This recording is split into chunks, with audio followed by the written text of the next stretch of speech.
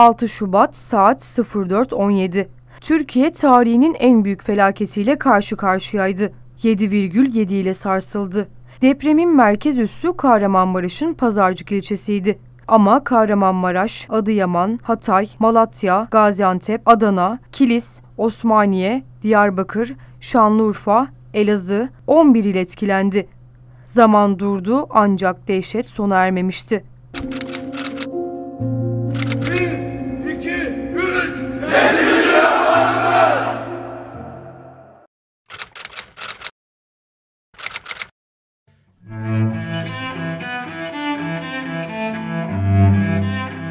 Ve sadece 9 saat sonrası Elbistan merkezli 7,6 büyüklüğünde bir başka deprem daha meydana geldi.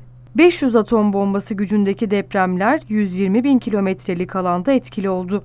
Sarsıntılar o kadar güçlüydü ki evler, iş yerleri, yollar, köyler yerle bir oldu.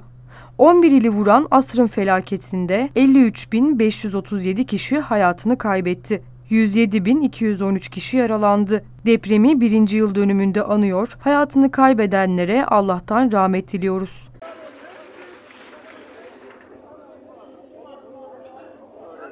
Abi gelme gelme. Gelme gelme gelme.